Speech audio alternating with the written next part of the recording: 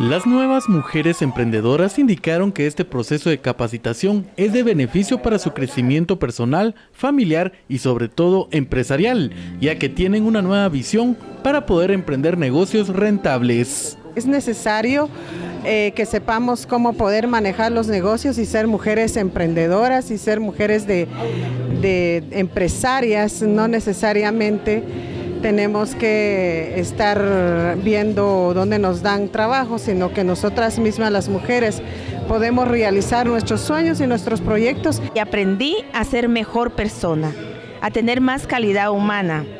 En medio de los talleres siempre hubo fraternidad y solidaridad, que son los bastiones importantes del cooperativismo. Es algo muy emocionante para cada una de nosotras las mujeres que nos están dando nuestros espacios. Uno nunca debe de dejar de aprender porque cada día uno va aprendiendo y lo bonito que lo que nos y los talleres que nos impartieron es de que nosotros debemos de ser innovadores. Las participantes recibieron durante un año talleres y capacitaciones hasta finalizar los módulos que fueron impartidos en seis diferentes áreas. La coordinadora del programa comenta al respecto con temas específicamente empresariales, de equidad de género y todos aquellos temas que están relacionados también con lograr el éxito de las empresarias de Alta y de Baja Verapaz para poder lograr un desarrollo económico local y que todas las familias pues se vean beneficiadas mejorando la calidad de vida de cada una de ellas. Para el siguiente año se tiene contemplado continuar con este programa